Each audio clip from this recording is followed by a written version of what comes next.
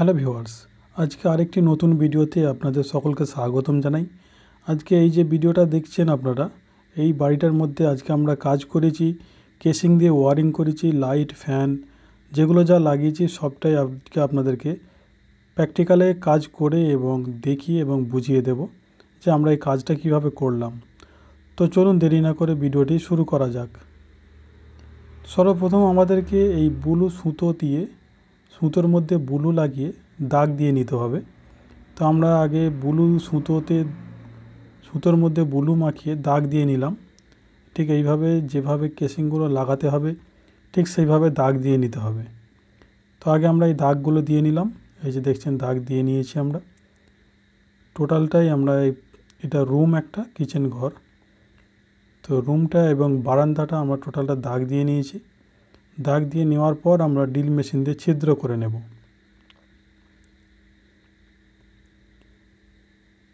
ছিদ্রটা যে করছি, এটা একটুখানি ধ্যান রাখবেন যে ছিদ্রটা এক ফুট ছাড়া যেন হয় বা এক ফুটের একটু বেশি হলে অসুবিধা নেই। ওর থেকে বেশি পাতলা হলে কিন্তু কেসিংগুলো পরবর্তীকালে যখন পুরানো হয়ে যাবে, তখন ঝুলে যাওয়ার সম্ভাবনা থাকে।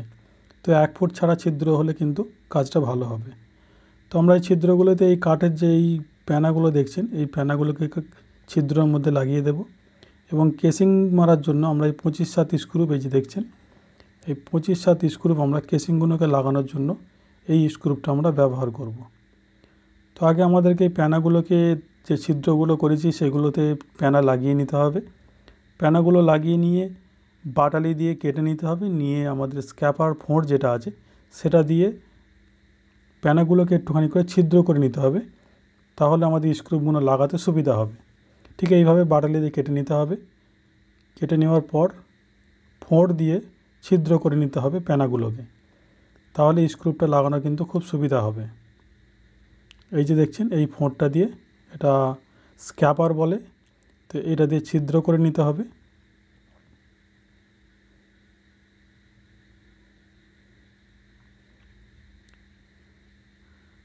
তো এই কেসিং দেখছেন, আমরা কেসিংগুলো খুলে নিচ্ছি।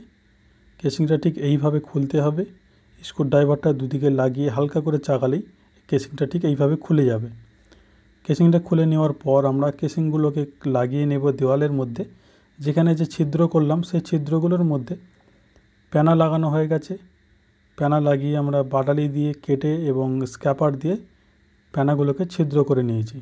তো এরপরে কেসিংগুলো ঠিক মাপে যেখানে যার যেরকম লাগবে ঠিক মাপ করে কেটে নিতে হবে। এটা দেখছেন এই যে কাটা হচ্ছে, এটা একটা কোণ আছে, সেই কোণটা ঠিক ঢালভাবে করার জন্য এইভাবে ঠিক কেটে নিতে হচ্ছে। কেটে নেওয়ার পর আমরা কেসিনটা লাগাবো, লাগিয়ে আপনাদেরকে দেখিয়ে দেব। এই যে দেখছেন, এই ঠিক ঢালটার জন্য আমাদেরকে কেসিংটা ওইভাবে কাটতে হলো এবং এই স্ক্রুপ দিয়ে ঠিক আমাদেরকে যেসব ছিদ্রগুলো আছে, সেই ছিদ্রগুলোর মধ্যে স্ক্রুপ দিয়ে আমাদেরকে লাগিয়ে নিতে হচ্ছে। ঠিক এইভাবেই প্রত্যেকটা কেসিংকে আমরা লাগিয়ে নেব।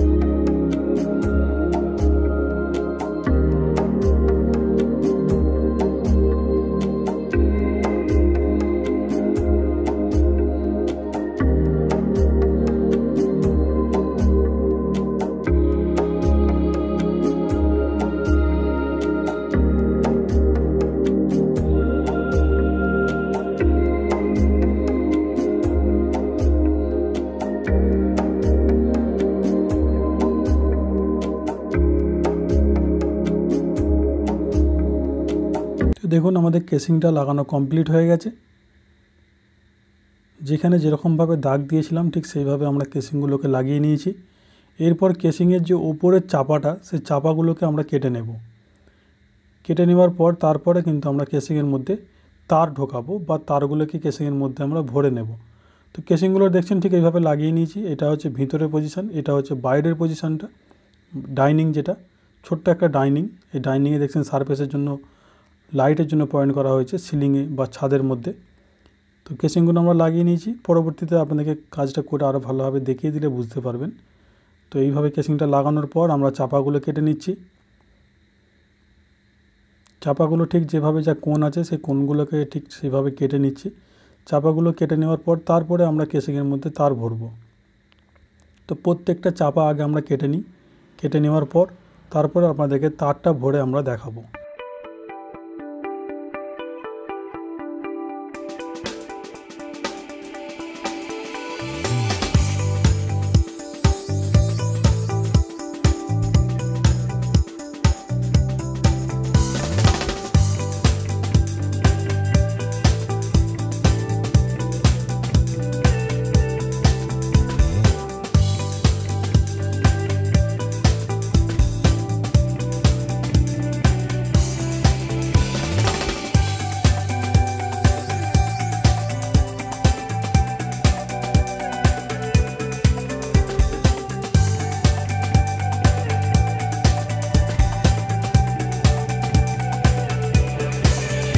দেখুন, আমরা সব চাপাগুলো কেটে নিয়েছি।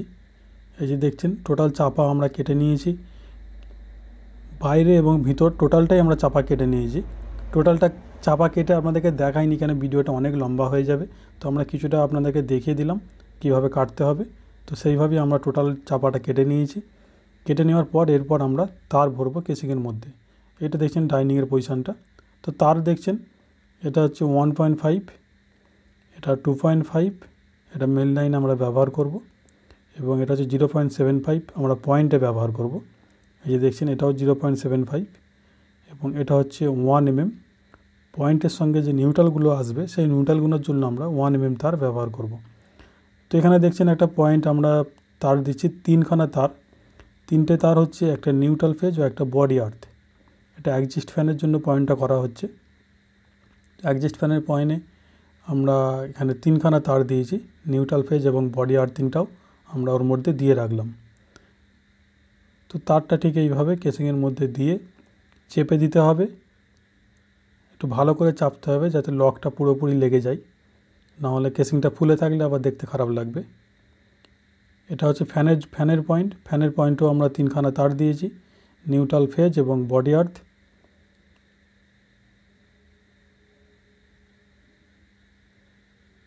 বডি আর্থিংটা আমরা ফ্যান এবং ফ্যান সিলিং ফ্যান এবং অ্যাডজাস্ট ফ্যান আমরা বডি আর্থিংটা দিয়ে রাখলাম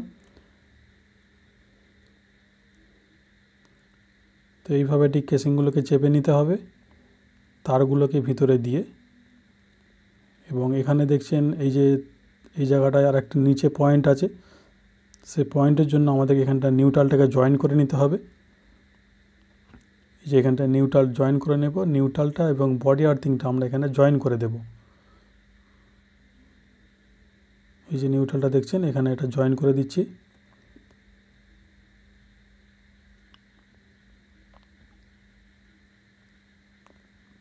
নিউট্রালটা এবং বডি আর্থিংটাকে এখানে আমরা জয়েন করে দেব। জয়েন করে দেওয়ার পর এখানে আর একটা যে পয়েন্ট আছে, সেই পয়েন্টটাকে আমরা নিয়ে সবগুলোকে বোর্ডের মধ্যে নিয়ে চলে যাব।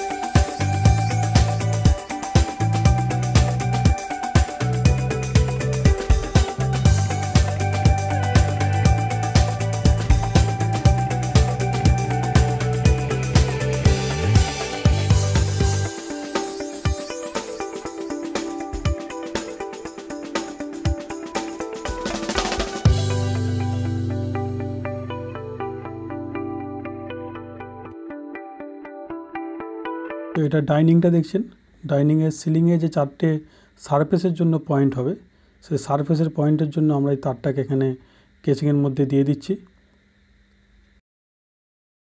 সিলিংয়ের মধ্যে ওইদিকে দুটো এবং এদিকে দুটো সারফেসের জন্য পয়েন্ট হবে। তো এখানে দেখছেন এই যে একটা পয়েন্ট করলাম এবং এখানে আর একটা পয়েন্ট। এই দুখানে দুদিকে দুটো সারফেস লাইট লাগানো হবে। তো এখানে নিউট্রালটাকে আমরা জয়েন করে দিচ্ছি।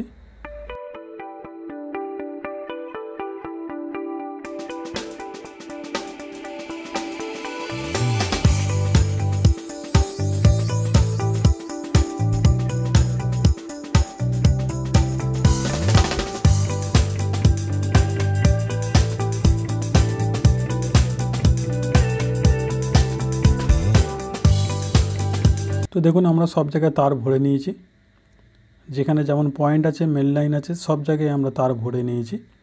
এটা ডাইনিংটা দেখছেন এবং এটা দেখুন কিচেন ঘরটা কিচেন ঘরের ভিতরটাও আমরা তার ভরে নিয়েছি। এখানে পয়েন্ট আছে, এখানে নিচে বোর্ড আছে এবং এখানে মেন বোর্ড আছে। এদিকে ফ্যানের পয়েন্ট লাইট পয়েন্ট এবং একজিট ফ্যানের জন্য পয়েন্ট করা আছে। তো সমস্ত জায়গায় আমরা তার ভরে নিয়েছি। এরপর আমরা দেখছেন এই যে বোর্ডগুলো আছে, এই বোর্ডগুলো লাগানো হবে। তো বোর্ডগুলোকে আমাদেরকে কাটিং করে নিতে হবে এবং এটা সার্কুলার সার্কুলারগুলোকেও আমাদেরকে কাটিং করে নিতে হবে।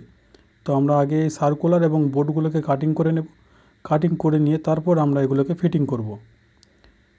তো কেসিংয়ের মাপ করে ঠিক আমাদেরকে দাগ দিয়ে নিচ্ছি, দাগ দিয়ে নিয়ে তারপর আমরা কাটিং করে নেব।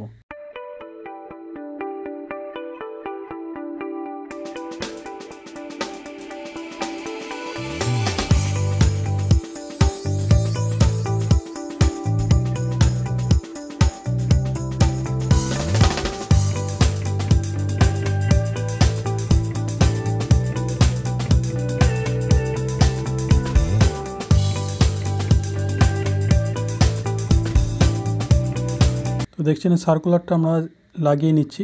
এটা টিউবলাইটের পয়েন্ট এখানে টিউবলাইট লাগানো হবে। তো আমরা সার্কুলারটা লাগিয়ে সিলিং রোজটা লাগিয়ে নিচ্ছি। সিলিং রোজটা লাগিয়ে নিয়ে তারপর আমরা টিউবলাইটটাকেও এখানে লাগিয়ে নেব।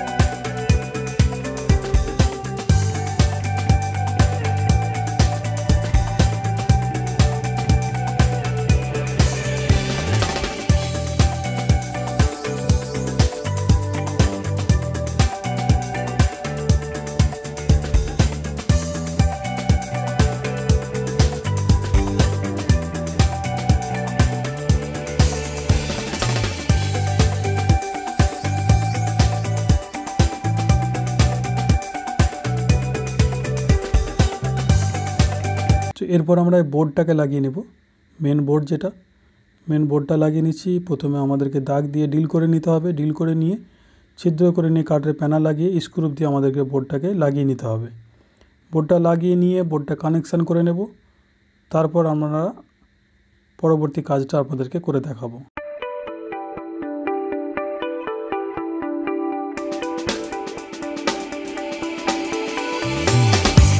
বোর্ডটা আমরা কানেকশান করে নিচ্ছি। সর্বপ্রথম মেন লাইন যে ফেজ আছে ফেজটা আমরা এমসিবির মধ্যে কানেকশান করে দিচ্ছি। এরপর নিউট্রালটাকে আমরা ফাইভ পিন সকেটে কানেকশান করে দেব। এবং বডি আর্থিংটাও আমরা ফাইভ পিন সকেটের যে ওপরের কন্ট্যাক্টটা আছে, সেখানে কানেকশান করে দেব। এবং ফ্যানের যে তারটা, সেটা আমরা রেগুলেটরের মধ্যে দিয়ে এই পিভিসি টেপ লাগিয়ে দিচ্ছি। এবং বাকি যে পয়েন্টগুলো আছে, যে সুইচগুলো ফাঁকা আছে, সেই সুইচে আমরা বাকি পয়েন্টগুলোকে একটা একটা করে সব কানেকশান করে নেব।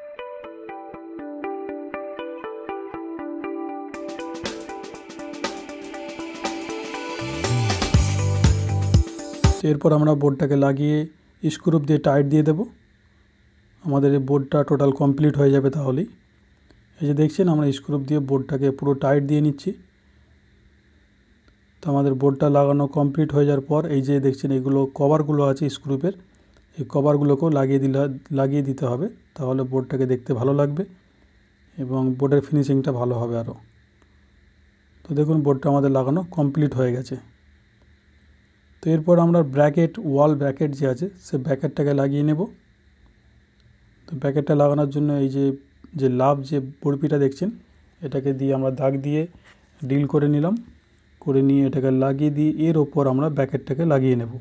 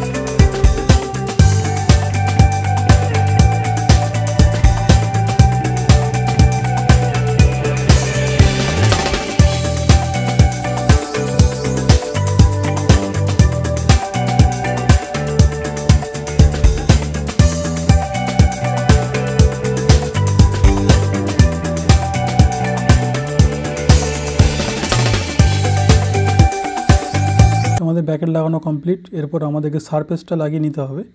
তো সারফেস লাইটটা আমরা দাগ দিয়ে নিলাম। দাগ দিয়ে ঠিক এটাকেও আমরা মেশিন দিয়ে ডিল করে নেব। ডিল করে নিয়ে কাঠের প্যানা লাগিয়ে দিয়ে আমরা পাতটাকে লাগিয়ে সারফেসটাকেও ঠিক সেমভাবে লাগিয়ে আমরা কানেকশান করে নেব।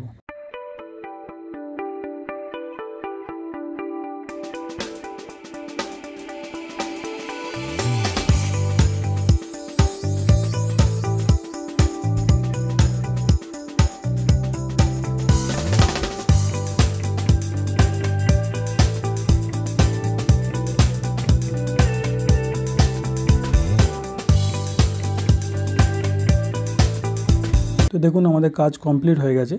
আমরা বোর্ড সুইচ টিউবলাইট ফ্যান সব লাগিয়ে নিয়েছি এবং লাগিয়ে নেওয়ার পর আপনাদেরকে চালিয়ে এবং জ্বালিয়ে একবার দেখিয়ে দেবো। এই যে দেখছেন ফ্যান চলছে একজিট ফ্যানটাও চলছে এবং বারান্দায় দেখুন লাইটগুলো জ্বালিয়ে দেওয়া হয়েছে এবং ফ্যানটাও চালানো হয়ে গেছে। তো টোটাল কাজটা আমাদের কমপ্লিট হয়ে গেছে। কাজটি যদি ভালো লেগে থাকে, অবশ্যই কমেন্ট করে জানাবেন এবং ভিডিওটি যদি ভালো লেগে থাকে লাইক শেয়ার এবং কমেন্ট করবেন এবং আমার চ্যানেলটিকে সাবস্ক্রাইব করে নেবেন। এই রকমই ইলেকট্রিক্যাল ভিডিও পেতে অবশ্যই অবশ্যই চ্যানেলটিকে সাবস্ক্রাইব করে বেল আইকনটি অল নোটিফিকেশান প্রেস করে রাখবেন যাতে আমার ভিডিও সবার আগে আপনাদের কাছে পৌঁছে যায়। ভিডিওটি সম্পূর্ণ দেখার জন্য অসংখ্য অসংখ্য ধন্যবাদ। ভালো থাকবেন, সুস্থ থাকবেন।